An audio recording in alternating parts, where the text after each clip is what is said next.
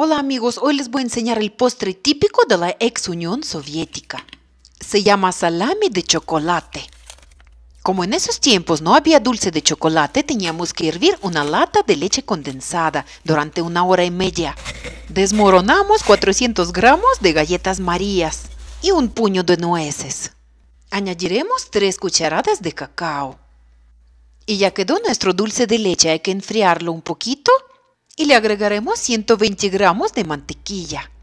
Y como el dulce de leche está un poco tibio, se va a deshacer la mantequilla muy rápido. Mezclaremos todo con la galleta y nos va a quedar la mezcla bastante pegajosa. Y vamos a formar nuestro salami con ayuda de papel para hornear.